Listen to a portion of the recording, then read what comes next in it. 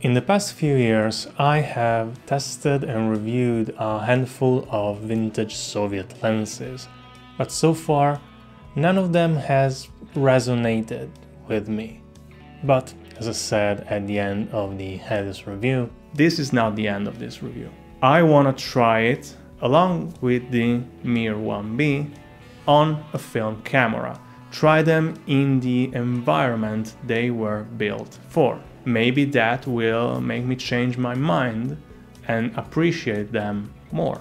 So stick around because sometime in the future we'll see how these lenses perform on an analog film camera.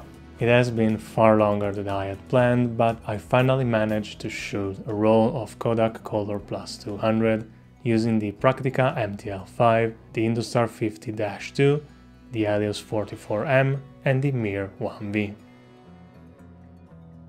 Let me show you the pictures that I took and after that we'll talk about them a little bit more.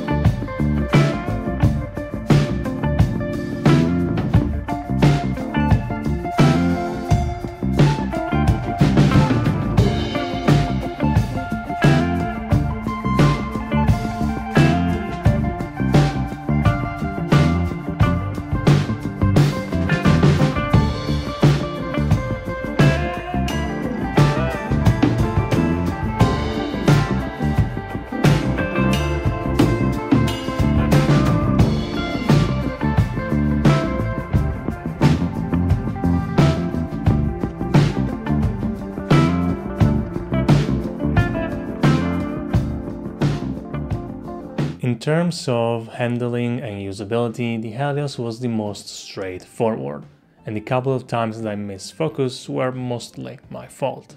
The Industar was a bit of a struggle, partially because of its size, but partially because I found it imprecise and hard to focus, just as I did on digital. Shooting with the Mir wasn't a pleasant experience either.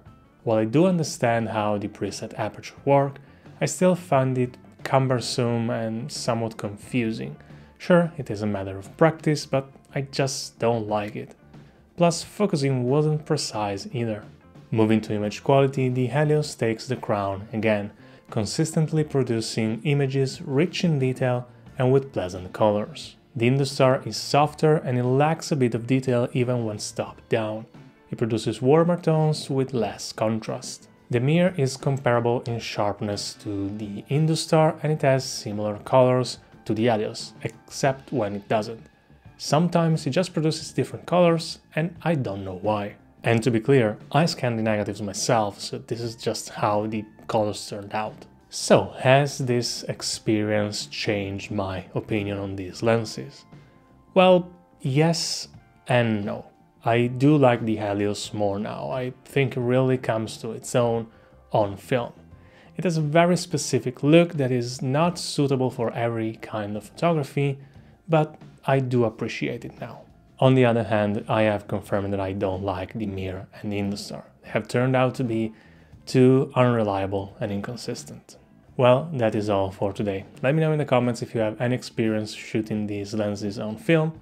And as always, don't forget to leave a like and subscribe, and I will see you in the next one. Bye!